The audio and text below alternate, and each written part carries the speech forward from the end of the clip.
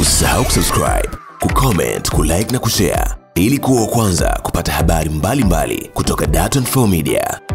Swala la nne ni matumizi mabaya ya madaraka ambayo linatakiwa kuwa jambo la kihistoria. Waraka namba moja wa mwaka 2023 wa katibu mkuu kiongozi kwa wakuu wa mikoa na wakuu wa, wilaya unaoelekeza na kusisitiza uzingatiaji wa sheria na kanuni katika utekelezaji wa mamlaka yao ya ukamataji uende ukatekelezwe vyema.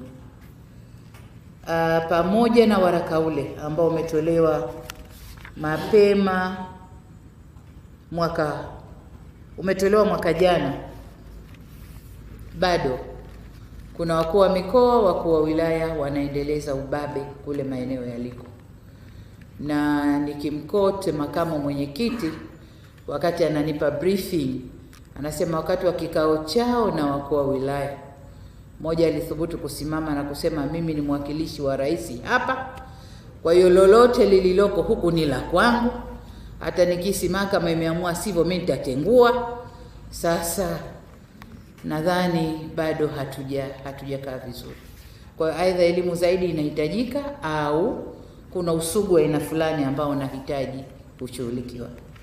Kwa niseme kwamba waraka ule uzingatiwe na uende ukafanye kazi vizuri.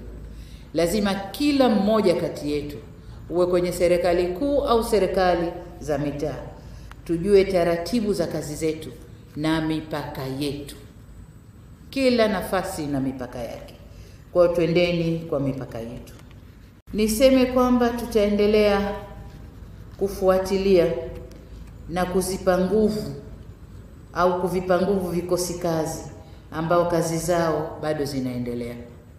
Tunasubiri kwa hamu wamalize, tupate mapendekezo yao ili tuendelee na utekelezaji.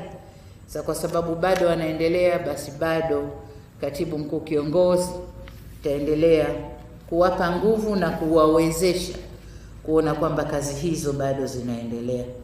Kazi za kubaini na kuzuia uhalifu ni muhimu sana, na niombe sana ifanywe kwa uangalifu mkubwa, na mapendekezo yatakayoletwa yaje yatuwezeshe wakati wa utekelezaji tuweze kufikia lengo la kubaini mapema na kuweza kuzuia uhalifu. Lakini mitaala ya usimamizi wa vielelezo na mifumo ya uratibu wa vielelezo nao pia tunasubiri kwa hamu vimalizike, kwa sababu ni nyenzo zitakazotumika zitakazo katika swala zima la utoaji wa haki. Usisahau kusubscribe, kucomment, kulike na kushare ili kuwa wa kwanza kupata habari mbalimbali mbali kutoka Dar24 Media.